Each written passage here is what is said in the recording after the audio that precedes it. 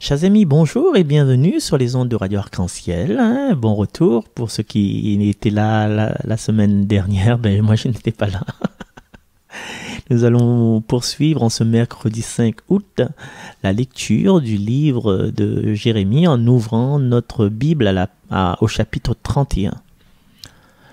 En ce temps-là, oracle du Seigneur, je serai le Dieu de toutes les familles d'Israël, et elles seront mon peuple. Ainsi parle le Seigneur. Il a trouvé grâce dans le désert, le peuple qui a échappé au massacre. Israël est en route vers celui qui le fait reposer. Depuis les lointains, le Seigneur m'est apparu. Je t'aime d'un amour éternel. Aussi je te garde ma fidélité. De nouveau, je te rebâtirai.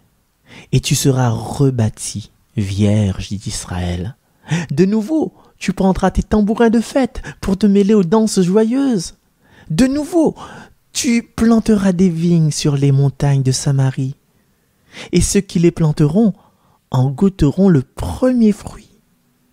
Un jour viendra où les veilleurs crieront dans la montagne d'Éphraïm Debout, montons à Sion vers le Seigneur notre Dieu. Car ainsi parle le Seigneur. Poussez des cris de joie pour Jacob, acclamez la première des nations, faites résonner vos louanges et criez tous Seigneur, sauve ton peuple, le reste d'Israël. Parole du Seigneur. Maintenant, chantons.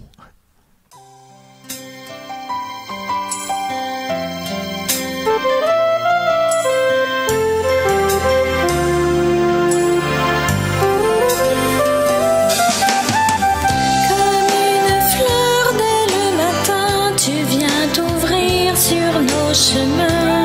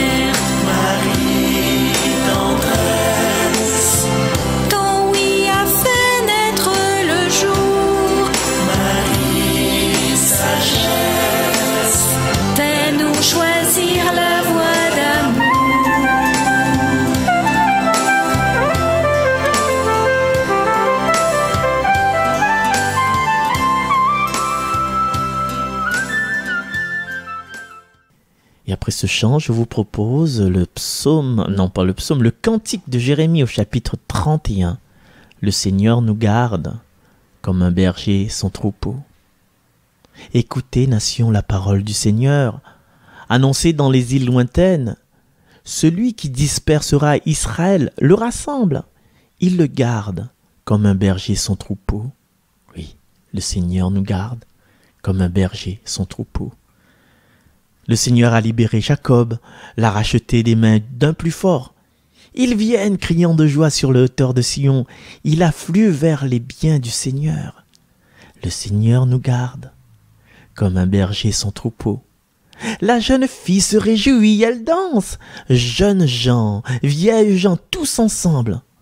Je change leur deuil en joie, les réjouis, les console après la peine. Le Seigneur nous garde, comme un berger son troupeau. Et nous nous quittons sur une belle prière de Luce Rose. À bientôt, à demain. La crèche de la source. Nous t'adorons, ô doux Jésus, et nous te bénissons. Dans cette crèche de ta vie, qui nous rappelle déjà ta passion. Ô doux Sauveur, tu es venu parmi les hommes pour racheter l'humanité entière et ramener à Dieu ton Père très bon tous les pécheurs que nous sommes. Tu ne veux épargner personne. Du simple animal, bœuf, âne, mouton, qui te réchauffe, hommage de l'univers venant d'Orient. Tu t'offres à nous déjà en nourriture, couché dans cet humble mangeoire, pour atteindre en notre corps notre âme immortelle. Chacun, à sa manière, t'offre ce qu'il a de présent le plus précieux. Mais toi, c'est notre être, notre vie que tu viens purifier. L'écho de cette source qui coule vient laver nos profondeurs pour laisser place à l'amour dont tu débordes pour nous sans faire de bruit, tu nous ouvres les bras et nous appelles, chacun par notre nom, à devenir ton disciple et à te suivre. Toi, l'étoile même, la star de toujours, qui a guidé en premier les bergers, puis les mages, et tout ce peuple qui vient te reconnaître et te rencontrer. Ces guirlandes multicolores représentent nos cœurs endurcis, hésitants. Toi seul, Seigneur, peux continuer à nous aimer malgré nos imperfections, nos trahisons, car c'est d'un amour infini et miséricordieux qui déborde de ton cœur que tu nous aimes. Nous ne sommes rien, même pas dignes d'être la paille où tu te reposes. Ô Seigneur, tu es tout déjà en ce petit enfant plein de promesses qu'honorent Marie et Joseph et glorifié par Dieu lui-même qui s'abaisse jusqu'à nous pour nous élever tous à la gloire éternelle. Ô Seigneur, personne n'est aussi puissant que toi. Amen. Alléluia.